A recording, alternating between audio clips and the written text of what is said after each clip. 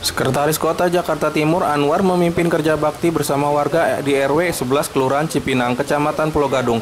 Ikut dalam kerja bakti tersebut Camat Pulau Gadung, Lurah Cipinang, dan para pejabat lainnya. Pada kegiatan kerja bakti tersebut, warga secara gotong royong membongkar bangunan liar, di antaranya 25 lapak kandang burung dara yang berdiri di sepanjang bantaran Kali Sodong. Keberadaan kepandang burung tersebut sendiri sudah lama dikeluhkan warga karena selain membuat kumuh juga dikhawatirkan dapat menyebarkan penyakit flu burung.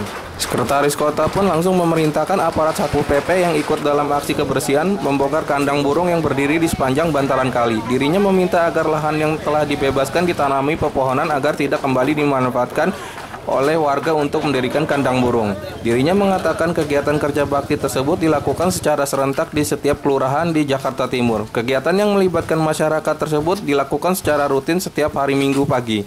Menurutnya aksi kebersihan tersebut dikonsentrasikan untuk membersihkan sampah yang ada di saluran-saluran air dan lingkungan tempat tinggal warga. Bangunan-bangunan liar yang ada di bantaran kali juga tidak luput dari sasaran aksi kebersihan.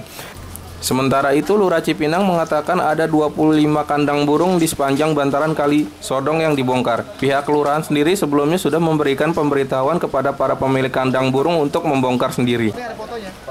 Dari Kelurahan Cipinang, tim Medianland melaporkan.